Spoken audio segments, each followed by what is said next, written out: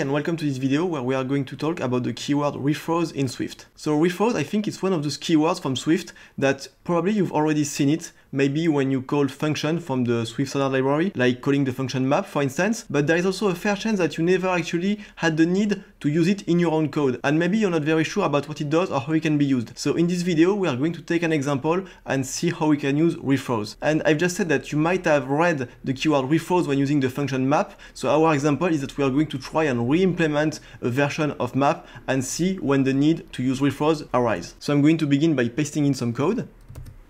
So you can see here I've pasted an extension of sequence and in this extension I have implemented a new version of map. So I call it map2 so as to avoid naming conflicts. And the implementation, while it's pretty straightforward, it's what we could call a naive implementation of map in the sense that it takes a closure as an argument. This closure can transform an element of the sequence into a generic type t, and then inside the function, while we declare an array of type t, we iterate over the element of the sequence. For each element, while we transform it using the function we got as an argument, then we append the transform value to the array, and finally in the end, we return the array. So I say that this is a naive implementation of map because, well, if you were to look at the real implementation of map in the library, you would see that there is a lot more optimization made in order to deal with array allocation and array capacities. Here we're just focusing on what map does, which is transforming the elements of a sequence into a new type. So now let's try and use this map function. So once again, I'm going to paste in some code.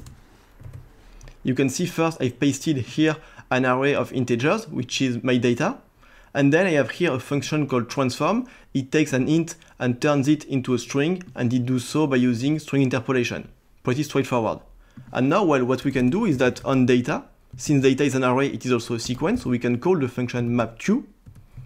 And then inside the function, well, we can just call our transform function. And so this way we are using map2 to iterate over a sequence and transform all of its elements using the function transform. Okay, pretty simple. Now let's complexify this function transform a little bit and let's make it so that it can throw errors. So first we need an error type. So I'm going to make a type called random error and we'll see why I call it this way. So it's an enum, I make it conform to the protocol error and I'm going to put just a single case there called random error. Okay, now what I want to do is that in my function, while I'm going to test a random boolean value, if the boolean is true, well, I'm going to do just like before, just return the transformed value. But when the boolean is false, well, I'm just going to throw an error. So as you can see here, half the time the function will work as expected and half the time it will throw an error at random, hence the name random error. So now I need to mark my function as throwing. Okay, perfect.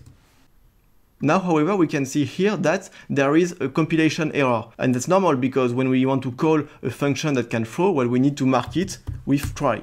All right, so we mark it with try but then we again have an error because well my function map2 here it expects a non-throwing function. I am passing in a throwing function. So once again I need to make adaptations so here I need to mark the function given as an argument to map2 as throwing I need to mark the call of this function with try. And finally well I need to also mark the function map2 as throwing because it can throw an error if here the call to transform throws an error and finally here at my call site of map2, well, I also must add the keyword try. So now everything is working as expected. Map2 is able to deal with function that returns errors, so that's all well. But let's try and see something. Let's say that now I want to call map2, but with a non-throwing function. So for instance, I'm going to give it a closure that just returns its argument. So basically the identity function.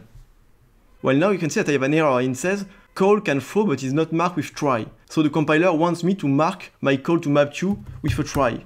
And it makes sense for the compiler because, let's look at it here, map2 is marked as throwing. However, well, we can see here that the closure we give it as an argument cannot throw. So this try here, well, it feels really like superfluous. So what we would actually like to have is a mechanism where if we pass in to map2 a closure that can throw, well, of course, then we need to annotate the call to map2 with try. However, when we pass in a function that doesn't throw, well, we would like not to have to mark the call to map2 with try because here this try is completely superfluous and is going to make our code much more complicated without any real need. So as you can imagine from the title of the video, well, this is where rethrows is going to come into play. So on my function map here, I'm going to change the second throws and change it with rethrows.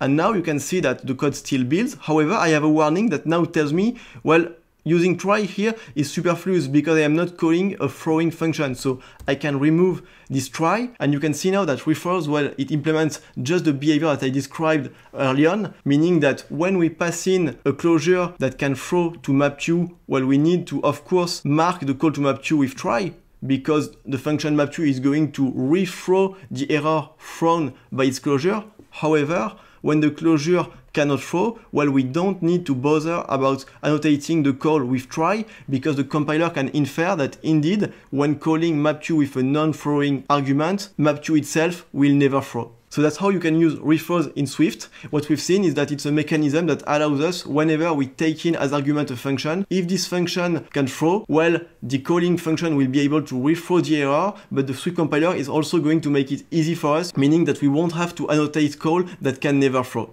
So as always, if you find the content of the video useful, well, you can give a like. If you have already used Rethrows or if you have any question about it, you can say it in the comments and you can subscribe for more content or share the video around if you think that your colleagues could use it. Thank you.